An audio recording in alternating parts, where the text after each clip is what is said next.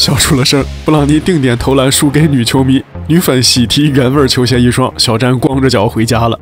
今年最火的新秀啊，绝对不是状元或者榜眼，而是五十五号秀布朗尼詹姆斯。小詹最近又整出点花活，在洛杉矶的一场活动上和漂亮女粉丝 PK 起定点投篮了，赌注则是双方脚上的鞋子。女球迷最终投出了十中九的好成绩。布朗尼第一投稳稳命中，接下来也是连中两球。结果到了第四次尝试，一下子扔丢了。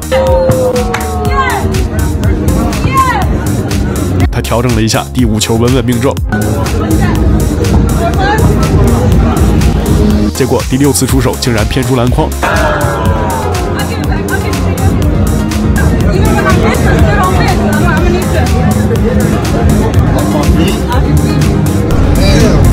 掉比赛的布朗尼只能乖乖脱下鞋子送给女球迷，女球迷穿上以后还臭美了一下。